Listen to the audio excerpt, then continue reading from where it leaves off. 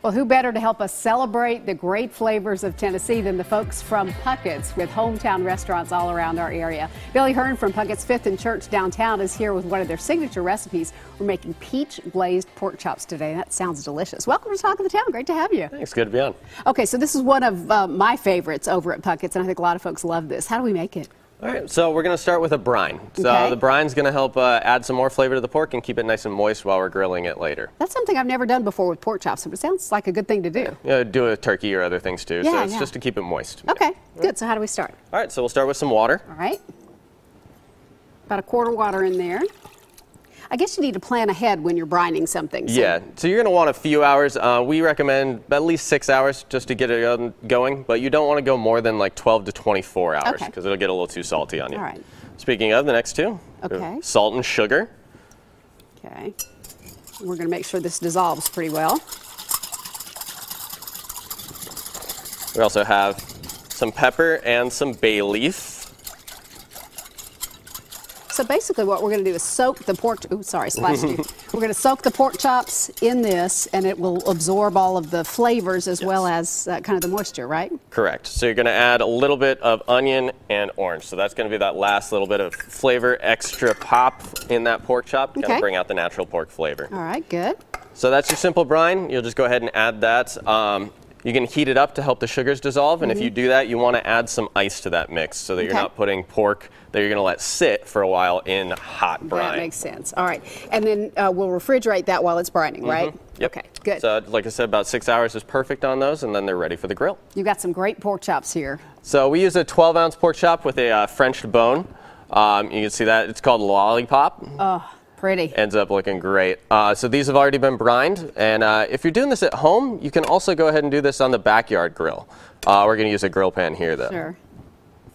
Oh yeah, that's looking good. Now, if a chop is that thick, how long do you let it cook? You're going to want to do about five to six minutes aside on there. Mm-hmm. Um, you know, you could do medium well, you could do well, however you want on there, but it's going to take a little bit to cook through. So you got to watch and make sure it's not too hot when you sear it, uh, and then let it calm down a little bit at the end and rest for about two more minutes. All right, we're going to make a peach glaze now, which is, uh, I think, going to be the best part of this recipe.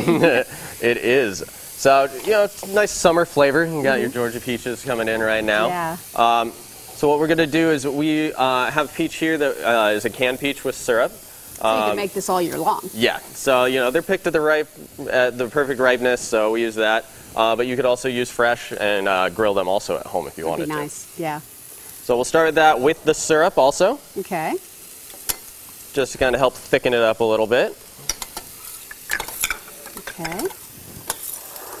And then got a little brown sugar. Bring out some of that flavor. Oh, this is going to be good. Uh, we have salt, pepper, and granulated garlic. Okay. And we're going to add a little color in there too. Correct. So we're going to add a little diced red bell pepper.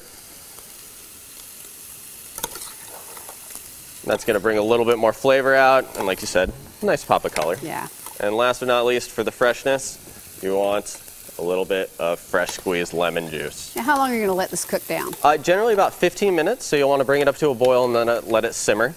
Uh, those peaches are going to start to break down a little bit, and uh, the brown sugar is going to caramelize a little bit. Looks great. When it's all finished and the pork chop's all done, it looks like this over here. And you serve it with your uh, smashed sweet potatoes. Yes, and our flat iron green beans. Oh, that looks so good. Now you can go into Puckett's and get that, but you could also have it delivered to your home. Yep.